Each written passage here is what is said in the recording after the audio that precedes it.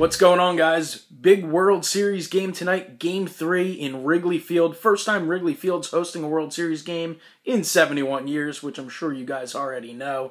Been a long time for the Cubbies. Anyway, I wanted to post something after each game of the World Series, but like I told you in my last vlog, I was going to be upstate uh, Pennsylvania for a few days where I don't have consistent internet access. So I recorded a couple thoughts the following day of the last two games. So uh, here they are. I'm up in beautiful northeastern Pennsylvania.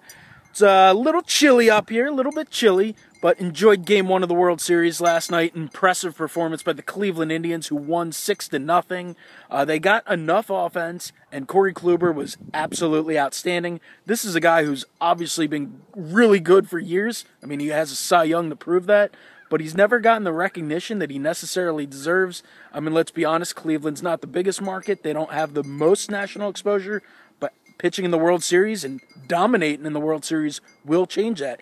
So the Indians grab game one. We'll see what happens uh, tonight in game two.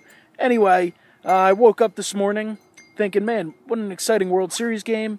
And then I went out to my backyard and it was filled with cows. So that's what you get out here in the country. We're now two games into the 2016 World Series. It's tied up at one game apiece. Uh, the Cubs with an impressive victory last night. Jake Arrieta was on point, was really good. The bullpen did a fantastic job as well, and the Cubs' offense was good.